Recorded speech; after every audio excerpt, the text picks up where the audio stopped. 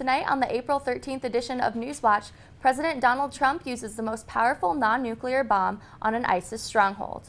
And members of the Iowa State Greek community are facing sanctions. I have the latest in Cyclone sports and the NBA playoffs. And it's a very warm, spring-like pattern in the weather out there. We've got a lot of rain, but uh, some dry time coming up. We'll time all that out in your forecast. In the meantime, Newswatch starts now.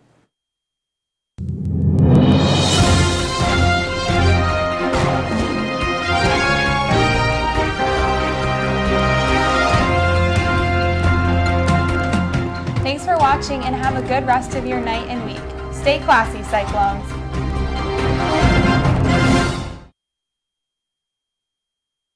for joining us on tonight's edition of Newswatch. I'm Coley Bergren. And I'm BriAna Campbell. Here are tonight's top stories. The U.S. military dropped a bomb in Afghanistan Thursday in efforts to hit an ISIS cave complex in the eastern part of the country. This is the largest non-nuclear bomb the U.S. has used in combat, which has given it the nickname the mother of all bombs. The Massive Ordnance Air Blast, or MOAB bomb, weighed in at 22,000 pounds and was developed in 2003. President Trump has deemed the bombing a success and stated that he authorized the military to carry out the bombing. A U.S.-led airstrike meant against the Islamic State in Syria killed 18 allied Syrian fighters. The strike, which was carried out on Tuesday near Tabqa, was meant to target ISIS fighters in the city. It instead turned out to be a position held by Syrian Democratic Forces, a group that has been fighting ISIS alongside the United States. U.S. Central Command issued a statement sending their condolences to the fallen SDF members, calling the incident tragic and that an investigation will be carried out in full. The 139th annual Easter egg roll will take place on Monday, April 17th, on the south lawn of the White House. The Easter egg roll began in 1879 under the presidency of Rutherford B. Hayes. Traditionally, schools in the Washington, D.C. area are invited to bring students to the White House to participate in the event. The Trump administration almost missed the deadline to order the wooden eggs for, for the event. After a reminder tweet from the company that supplies the eggs, the White House put in a rush order to supply the main attraction for the time honored tradition. President Trump signed legislation this morning that will cut federal funding from organizations like Planned Parenthood. The rule nullifies an Obama administration rule that prevented state and local governments from withholding federal funding for family planning services. The new measure aims to cut federal funding from clinics that perform abortions, a move that has been seen praised by conservatives and heavy backlash from progressives. The Iowa Senate passed legislation that will require voters in Iowa to produce government identification at the polls and will reduce the time period for early voting in future elections. Opponents of the bill call it a voter suppression bill that may leave some Iowans unable to cast their votes in elections. The bill will be sent to Governor Terry Branstad's office, where he is expected to sign it into law. Shipping giant UPS announced today that it will be moving operations from Des Moines to Rockford, Illinois. The company, which currently operates 13 flights per week out of Des Moines International Airport, will now base these flights to Chicago Rockford International Airport.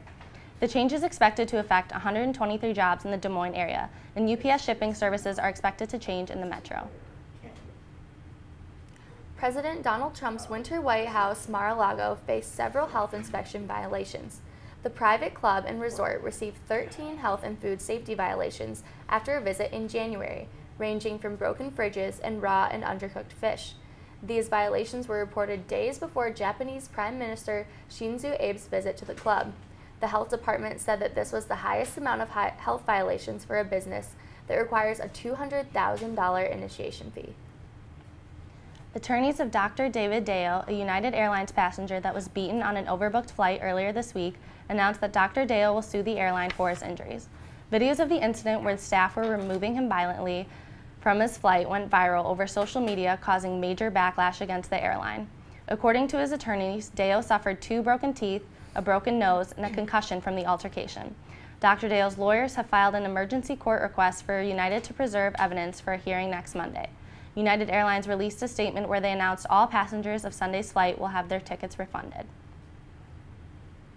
A 17-year-old girl was convicted of criminally negligent homicide following the death of a 16-year-old classmate in a Delaware school bathroom.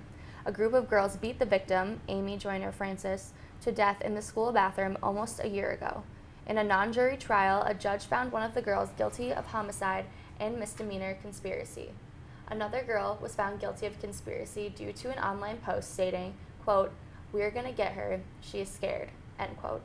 The third girl was acquitted of conspiracy charges as she was seen in a cell phone video pulling one of the girls off of Joyner Francis. All of the girls were tried as juveniles.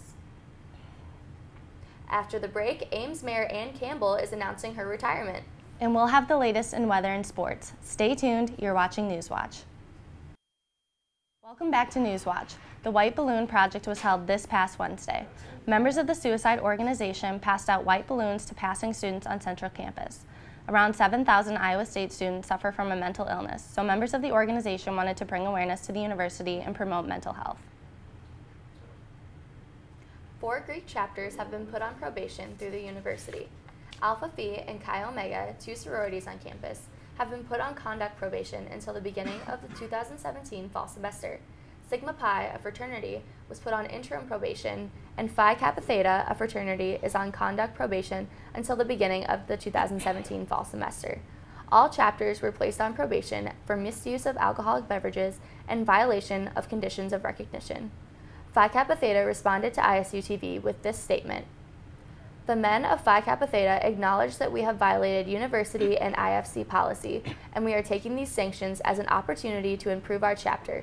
This includes a complete revision of risk management policies within our chapter, a reevaluation of how we are living our chapter's values in our daily lives, and a commitment to building a stronger relationship with both the university and the Interfraternity Council, signed Chapter President Davis Arbogast. All chapters are expected to review their risk management policies. Alpha Phi, Chi Omega, and Sigma Pi did not respond to contact from ISU TV. Lincoln Way is looking at some serious changes. At a council meeting Tuesday, it was decided the major road on Iowa State's campus needs to be a safer place for students. After the devastating events that took place last year between a Cyride and a student, the city decided it was time to do something about it. The plan could take up to 15 years, but the university is prepared. This this semester, 400 veterinary students are taking a clinical skills lab that help them gain nearly life-like experience. Gone are the days of practicing stitching on banana peels and couch arms. Iowa State students have access to far more realistic options. There are models of dogs, pigs, and horses, even a life-size model of a cow. All these allow veterinary students to practice medical procedures before working on real living animals. After 25 years of public service in three terms, Ames Mayor Ann Campbell announced her retirement Wednesday morning. Campbell served for 16 years on the Ames City Council and has spent the last 12 years as the mayor of the city. The moment she is proudest of during her tenure is seeing the city of Ames come together and fixing up the town during the 2010 floods. Campbell will officially step down from the office at the end of the year after a special mayoral election for her replacement. Philanthropy season is in full swing for the Iowa State Greek community. Every chapter has a specific service cause they fundraise for. Some philanthropies have already occurred, such as Mac Attack for St. Jude's Children's Hospital and Pi Phi Taco Time for children's literacy, and Chick-fil-A Fee for women's heart health is happening tonight. Upcoming philanthropies include Family Fair for CASA and USO on April 19th and Let's Talk About Alzheimer's on April 18th. Several philanthropic events include food, but others include sporting events and games. Tickets for philanthropies can be purchased from the members of the hosting chapters. The student organization Dub H is celebrating 15 years on Iowa State's campus. I had the opportunity to check out the club myself. Friday marked the 15th anniversary of Dub H being a club on Iowa State's campus. Dub H is an acronym for Double H, which stands for hip hop. So what do they do in this club? It is a dance organization that is for everyone and anyone. Um, we're all focused about just coming together and having fun and enjoying the one thing that we all have in common, which is dance. Um, we have people who have danced their entire lives, and then you have people like me who didn't start dancing until they were in college. Dub H has around 500 members, making it the largest student-run club on campus. Dub H consists of students as well as alumni and members of the Ames community. My favorite part of Dub H is probably the people. I really like going to practice every day and like kind of just leaving everything at the door and having fun with my friends. At the end of every semester, Dub H puts on a performance for approximately 600 audience members. You know, I actually thought the performance was really cool. I wasn't quite sure what to expect just because I hadn't, you know, been to one of these before, but it was actually really interesting. Uh, overall, I'd say my favorite part was honestly just how many people were involved. I was really shocked by that. I just, it was for something I had never heard of before on campus. There was actually just a ton of people here, and I thought that was really cool to see how many people got out and got involved in it. For more information on DubH, check out the club's website or the Student Organization database. For ISU TV with Zach Williamson, I'm Coley Bergren.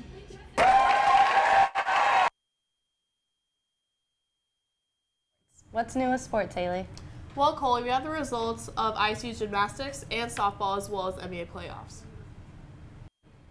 Welcome back from the break. I'm Hayley McPike, and here's the latest in Iowa State and national sports. It's a busy weekend for Cyclone sports. Tomorrow, the gymnastics NCAA National Championships will go live at noon in St. Louis, Missouri. With a final all-around score of 39.175, our very own Haley Young landed a spot at nationals. The junior will be competing as an all-around competitor in the championship tomorrow. Cyclone Nation wishes you the best, Haley. ISU's men's golf team will head up to Iowa City this weekend for the annual Hawkeye Invitational. The competition will take place this Saturday, April 15th and Sunday, April 16th at Finkbine Golf Course. The 14 teams will play 36 holes on Saturday and 18 holes on Sunday. The Invitational will start at 9 a.m. both days. Tomorrow, the Iowa State softball team will take on the Cowgirls of Oklahoma State in a three-game series at the Cyclone Sports Complex right here in Ames. Because of the weather, the schedule has been adjusted. The teams will play a doubleheader on Friday beginning at 11 a.m. On Saturday, the girls' final game of the series will begin at noon. Good luck, ladies. And to top off this busy weekend for the Clones, the ISU track team is competing in the Bryan Clay Invitational today and tomorrow in Azusa, California. Cyclone Zach Black, Dan Kurtz, and Christian Delago will all run in the 1,500 meter run. The trio ran in the Stanford Invitational just two weeks ago. Delago led the three runners with a time of roughly 3 minutes and 45 seconds, making that his personal best. Good luck to all of the Cyclones competing this weekend. The bracket has been set for the NBA playoffs. In the East region, we have the number one seed Boston Celtics playing the Chicago Bulls, the returning champion Cleveland Cavaliers against the Indiana Pacers, the Toronto Raptors facing the Milwaukee Bucks, and the Washington Wizards up against the Atlanta Hawks. In the West region, the number one seed Golden State Warriors are set to play the Portland Trailblazers, the San Antonio Spurs against the Memphis Grizzlies, the Houston Rockets against the Oklahoma City Thunder, and the LA Clippers against the Utah Jazz. The first round of games start this Saturday up until the end of April. Now that's it for sports. How's the weather looking tonight, Zane? Well, Hayley, if you've been outside, you probably noticed it feels very mild out there. We're still in the upper 50s and 60s across the northern half of the state, low 70s uh, to the south. As we go through tonight into tomorrow, we're going to move down into the mid 50s overnight by tomorrow morning, up back in the 60s, but a lot of chances of rain tomorrow and into Saturday. We'll time those out coming up in the forecast. Welcome back. It's mid-April and it's very mild uh, temperature-wise out across the state of Iowa. These are the highs we got up to, up to today. Uh, northern parts of the state, upper 50s and 60s to the south. Des Moines, 79 degrees, almost 80. That's about 20 degrees above normal for this time of year, so quite impressive for mid-April. Right now here in Ames, uh, 64 degrees, winds are out of the east-northeast at 14 miles an hour. Most of us out there in the 50s uh, and 60s, lower 70s off to the south. There's warmer air across the southern half of the state of Iowa. That's ahead of this system. These clouds are advancing from the southwest. Those are part of a system off to our south. There's a warm front draped across uh, south, southern Iowa. That's why it's so much warmer down there right now. And those clouds are advancing ahead of it. And then there's a trough of low pressure across parts of Colorado, Kansas, and Oklahoma. And this is where our chances of rain is going to come through tomorrow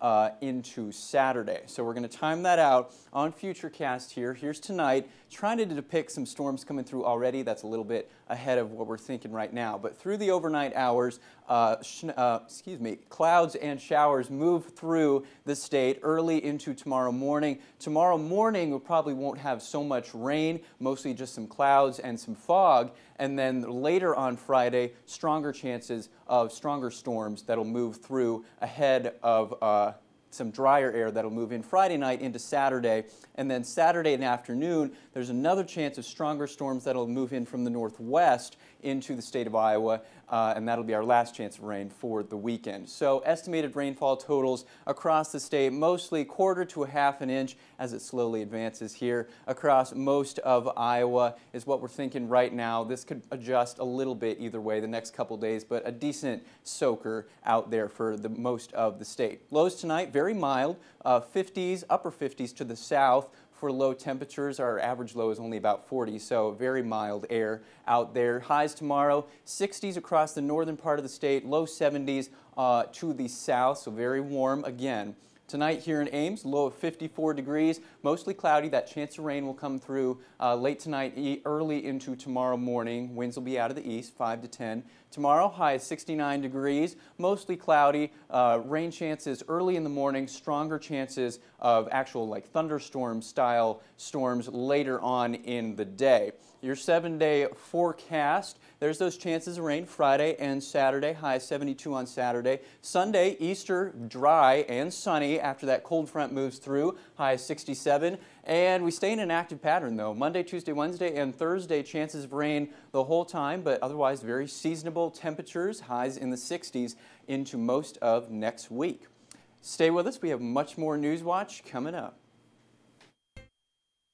Welcome back to News Watch. Catch me in jail. How about that?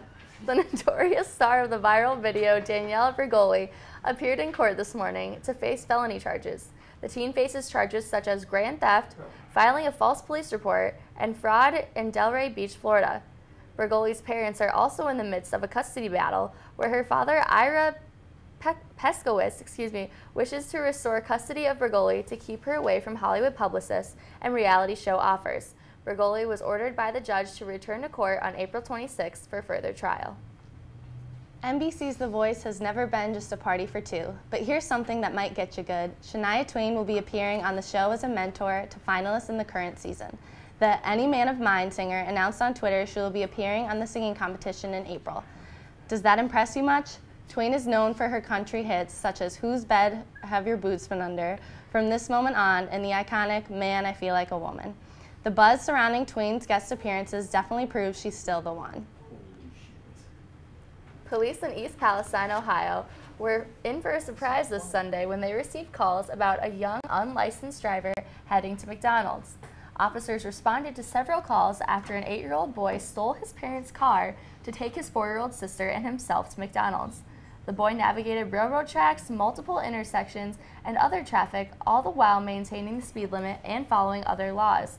The children were picked up after a family friend noticed them driving nearby, and no charges were filed. The eight year old stated he learned how to drive through watching YouTube videos. I tell you, Bry, I can't blame him. Sometimes you just gotta get your McNugget on. I'm more of a Culver's person, but you know, I gotta admire his determination. And that's all for tonight's edition of Newswatch. Check back next week for more Iowa State news, weather, and sports. Have a good night, Ames. Stay tuned for Ames Tonight.